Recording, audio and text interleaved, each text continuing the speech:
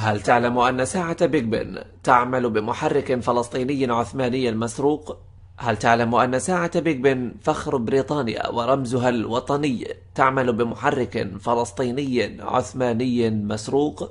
الصورة التي نعرضها لكم على قناة التاريخ الكاذب هي لساعة القدس المخبأة اليوم في لندن بعد أن كانت تزين باب الخليل في القدس وتطلق أجراسها في كل ساعة إلا أن الجنرال اللينبي أمر بتفكيكها وسرقتها ووضعها في متحف لندن عام 1922 وتم نقل محرك الساعة إلى ساعة بيج بن.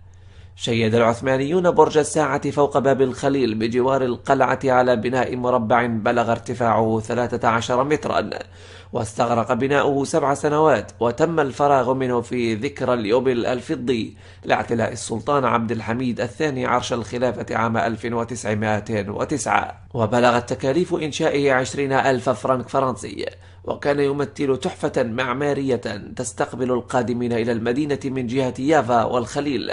وكان يشمل أربع ساعات يراها السكان من مختلف الجهات.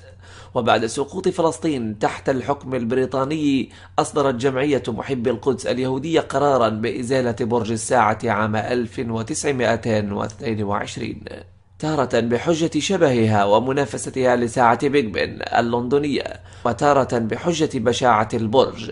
بينما كان الهدف الحقيقي هو إزالة ذكرى السلطان من أذهان السكان ومحاولة مسح ما يمكن من الذكريات العثمانية. قاوم الأهالي ذلك القرار بعنف. حاول ستورز تهدئة الأوضاع فنقل الساعة ونصبها على برج صغير بني على الساحة المقابلة لمبنى بلدية القدس خارج الباب الجديد. وبحجة أنها لم تكن فكرة جميلة.